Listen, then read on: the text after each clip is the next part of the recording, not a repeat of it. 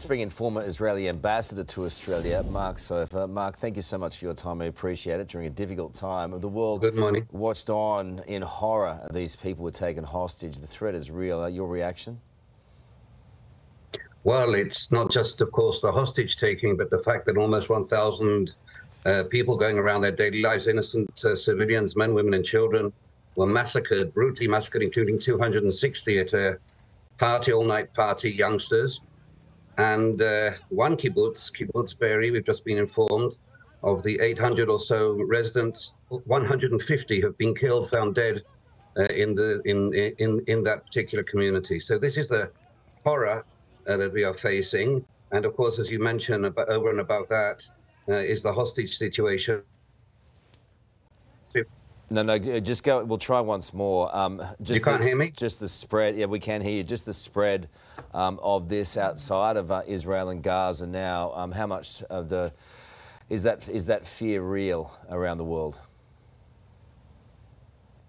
Uh, what, you mean uh, the the spread of the uh, the uh, uh, conflagration of the war over yes. to other places in the Middle East, including Lebanon, or Mm, around yes. the world? Well, of course, the fear is there. It's very much there. This is a uh, uh, a war uh, by, orchestrated by the Hamas, which actually has been uh, uh, masterminded by Iran, by the Iranian regime, and they control their proxy in Lebanon is uh, is the Hezbollah. So yes, there's an, a, palpable fear uh, that uh, they could uh, they they might uh, join in the uh, in the in the uh, fighting in the northern border as well, which of course will widen the uh, uh, the the war scenario. And that is why the American uh, uh, um, the Americans have sent over uh, a warships and uh, as a deterrence factor, both to the Hezbollah and to uh, Iran. But we will be ready to handle them as well.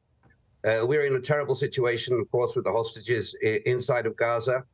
They've been uh, probably sequestered into uh, safe places under hospitals, into mosques to be used as uh, human shields. I wouldn't take at face value uh, statements of this type or other type by the Hamas um, uh, because they, of course, are working in psychological warfare. But it's uppermost in our mind to free them and to get them back safe and sound to their families uh, in Israel. All right, given those communication issues, that we might leave it there. We really appreciate you being on the show. Welcome back. The death toll from the Israel-Gaza conflict has now surpassed 1,000 people as Israeli forces prepare to launch a full-scale invasion. For more, we're joined by Nibal Farsakh of the Red Crescent in Gaza. Nibal, thanks so much for your time. Now, we know that devastation is widespread. What's it like where you are right now?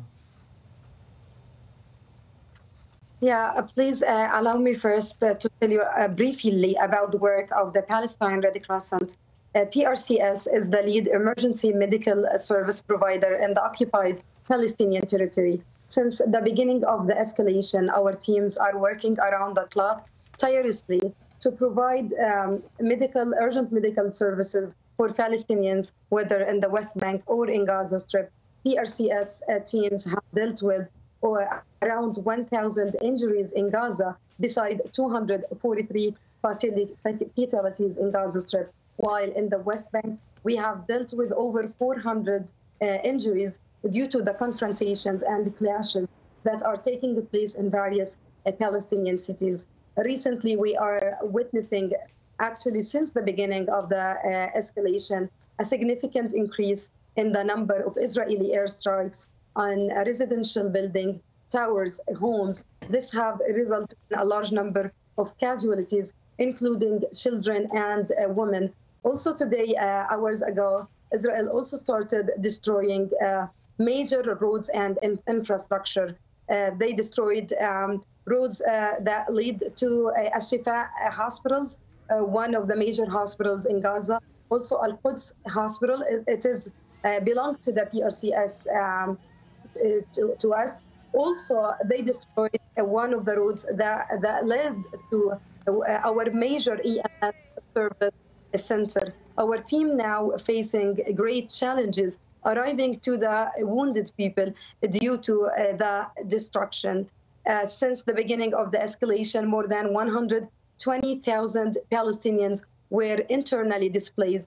Among them, uh, 76,000 are uh, sheltering uh, in schools. Those uh, who have been displaced are uh, in urgent need for uh, food. They lack food. They lack relief uh, items as well. the problem of um, electricity supply is still continued since the beginning of the escalation. Israel authorities ceased supplying electricity to Gaza, uh, to Gaza Strip. Now electricity is only available for four uh, hours. This absolutely is impacting the work of hospitals who now depend on generators. In the best case scenario, some hospitals, uh, the fuel will only last for uh, a couple of days, like four days. So we're heading towards a humanitarian crisis due to lack of everything in Gaza, lack of food, of medical supplies, and lack uh, of uh, fuel as well.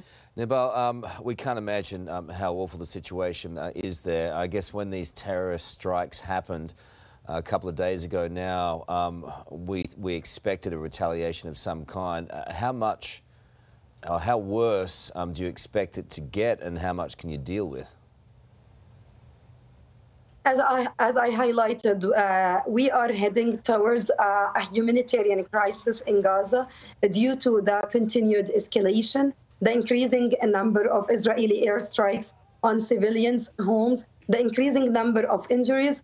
Uh, and Gaza hospitals are not really ready to deal with uh, some injuries who are in need for sophisticated surgeries. So some injuries need to be transferred for treatments outside of the Gaza Strip now we are facing a lack of uh, medical supplies as well as the lack of fuel that is uh, already needed uh, to generate hospitals that they are now working on generators. Absolutely, the scenario is the worst. That's why we call on the international community to pressure Israel to open a humanitarian corridor to allow the entry of medical supplies and the humanitarian aid, as well as also to allow um, the, those with humanitarian cases, patients who are in urgent needs for surgeries to be done outside Gaza so they can uh, get the treatment outside of the Gaza Strip. We also call for the protection of our medical missions. Since the right. beginning of the escalation,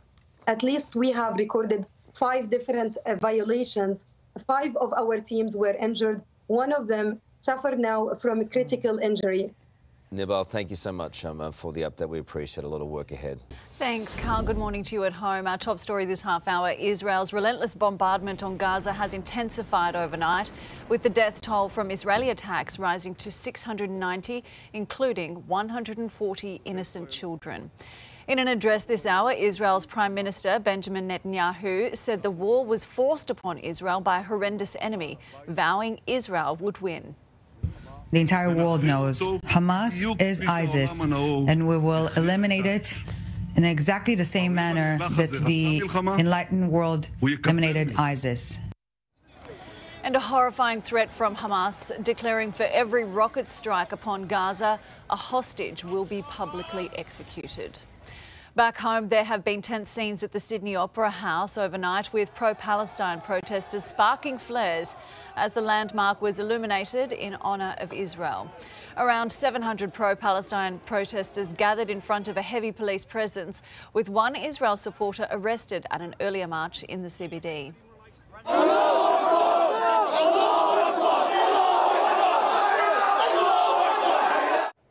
There were contrasting scenes in Melbourne where Deputy Prime Minister Richard Marles and former Treasurer Josh Frydenberg came together to show support for the Jewish community.